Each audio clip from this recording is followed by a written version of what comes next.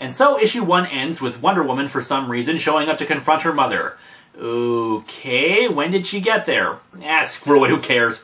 Okay, we turn the page and, oh, you've gotta be kidding me. There's two large paragraphs of text explaining what happens between this issue and the next. But how could that be? This was just one issue following into another. Well, folks, this is as good a time as any to give you a little lesson in event comics. In an event comic, several ongoing series in the main comic universe will have tie-in issues to the event, exploring in greater detail a particular plot point. Or, as we see here, having important plot points for the event itself! Now, I love big crossover event comics, but it's a little frustrating when you invest money in a miniseries hoping to get a complete story and you get jacked by the publisher who says, Oops, sorry, if you want to know why this happened, you have to pick up the comic you don't regularly pick up! It's one of the most frustrating aspects of event comics. It gets worse when the stories are written by completely different writers who only peripherally know about what they're talking about when they're writing the plot point, so the events don't match up to what we see in the main comic. Okay, rant over. Here's what they felt wasn't important enough to include in the hardcover release of Amazons Attack. Wonder Woman and Hippolyta have their reunion, and she quickly realizes that Hippolyta is far too nutty to be acting like herself and that she's under mind control. Instead of using that magic lasso of hers that frees people from mind control, she goes to confront Circe, who reveals her plans to nuke Themyscira for some reason. Hippolyta, overhearing this, then stabs Circe with a sword and she vanishes. But Hippolyta is still completely batty, so they go into battle. Meanwhile, it's revealed that Sarge Steel is being impersonated by the shapeshifter Everyman, a villain left over from the much better than this Series 52. The action spy Nemesis, who's known for his own mastery of disguises, then turns into Sarge Steel as well in the hopes of discrediting Everyman's. Oh, you know what? Just screw it. I mean, seriously, who the hell enjoys having their comics narrated to? Wait, Okay, after that tedious exposition, we get on with issue 2. After a one-page recap done with Lex News, get it, it's like Fox News, but with Lex Luthor's company owning it, ha ha ha ha ha. And we go back to our military jets. They get the okay to open fire on the Amazons, but then, holy crap, an arrow pierces through the cockpit glass and stabs a female pilot in the neck. An arrow made of wood and stone pierces through the glass of a fighter jet's cockpit. The pilot ejects and she manages to land on the ground where she's found by the Amazons. Instead of saying something like, You fought with honor, sister, the Amazons just stab her through the heart. Oh, good, because it's been a whole issue since we got to see someone brutally murdered.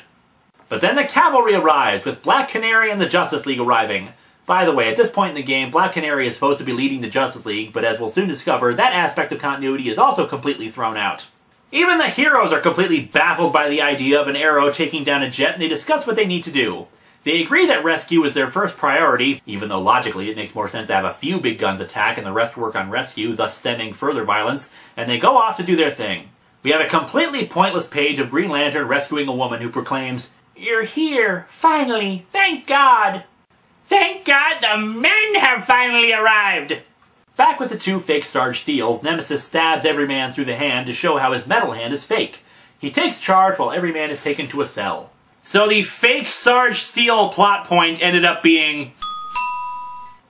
Well, okay, we do learn that because of the impersonation, that's why military operations have been slow to make any difference on the Amazons. But even if they weren't, what do you expect? The Amazons have got, like, bows and arrows on their side!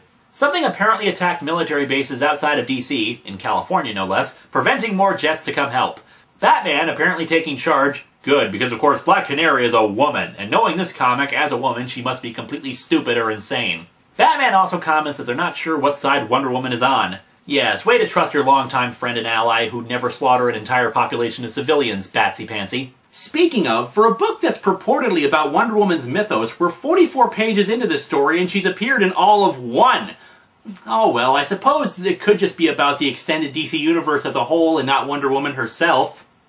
Except for the fact that her name is right on the cover at the top! Our establishing shot is to a building called the National Museum of America, which I'm sure is supposed to be the Smithsonian, except it doesn't really match up to the pictures of the Smithsonian I found on Google. Anywho, Donna Troy, who you may remember from my Titans number one review, shows up and promptly beats up two Amazon guards. I'll save Donna's long and complicated history for my countdown review, but to sum it up, she's Wonder Woman's actual sister. So right now, Donna Troy has had more panel time than Wonder Woman has. Huh. Anyway, she confronts Hippolyta. Alright, here we go. This should be good. One of my favorite characters battling a monarch gone mad.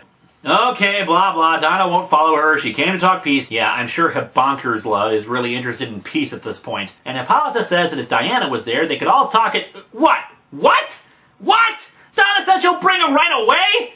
Yeah, see what I mean when I say all the women in this comic are stupid or crazy? Okay, Donna walks outside and is confronted by a silhouetted figure. You know who it is? Well, we never learn in the comic itself. Because this is where Donna stuff spins off into DC's weekly series Countdown, meaning that this entire sequence has also been completely pointless.